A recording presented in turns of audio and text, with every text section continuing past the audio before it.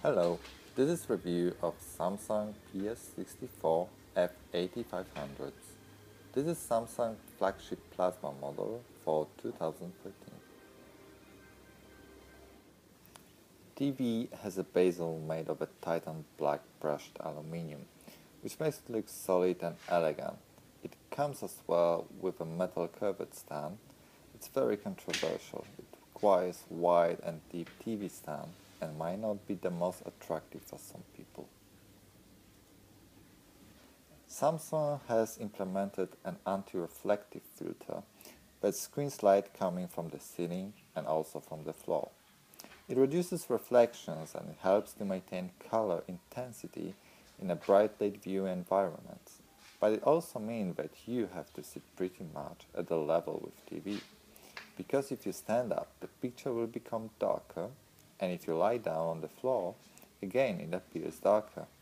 But I don't think so it's the issue and most importantly, horizontal, horizontal viewing positions are perfect. F8500s comes with two remote controls, one normal one, another with touchpad and microphone to use voice commands. All are small and practical, but I personally use normal one because it provides access to screen settings and it's small and handy. Current models comes with the latest Samsung Smart Platform. It is equipped with 4-core CPU and thanks to that TV menu is fast and smooth. Smart platforms comes with a voice and gesture recognition. It is however not much practical and does not work correctly most of the time, so I suggest to turn it off. TV has a built-in camera for Skype and gesture recognition. Video quality is in SD resolution and quality is good enough, but nothing than that.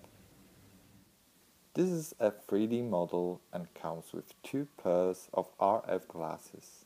They are battery operated, very light and there is a very lean tint to the lenses, which means that the images in 3D appear more accurate and brighter.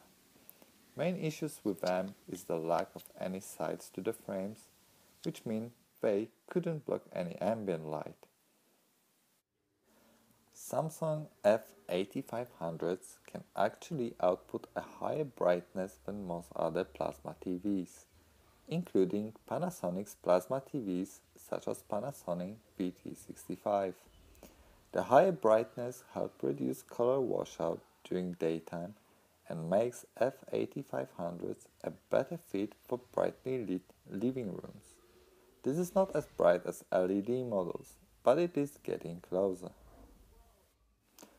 F8500 can maintain an impressive level of brightness, even while showing black in the same scene. This was also true when it came to the shadows. Not only could the F8500s maintain detail in the dark scenes, but it also delivers shadow details when the other part of the image were very bright. This resulted in a truly immersive dynamic range that delivered an excellent contrast ratio of around 8000 to 1. Color performance on Samsung's model is impressive as well and on a par with the Panasonic's plasma TVs. The detail level is high and HD picture quality is especially impressive on a 64 inches version here. The motion handling on the F8500s was quite superb. I saw no significant blurring on a fast motion except for blurring introduced during the movie production. Samsung F8500s it's not rotation free but I did not find much to worry about, especially after the first 100 hours, where image rotation is minimal and disappears pretty quickly. When it comes to 3D, the increased brightness of a Samsung Super Contrast panel really pays off, delivering some of the brightest 3D images that I have seen including LED TVs. The combination of a brighter panel and the minimal tint of the glasses resulted in a 3D images that had plenty of impact and the large screen size really added to the overall sense of immersion.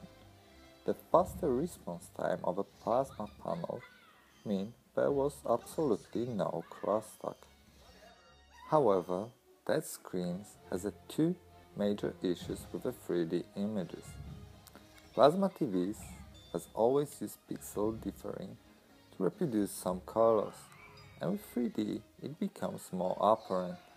The fact right now is just that you have to sit relatively far away from your F8500's TV to fully enjoy 3D, which is a little letdown.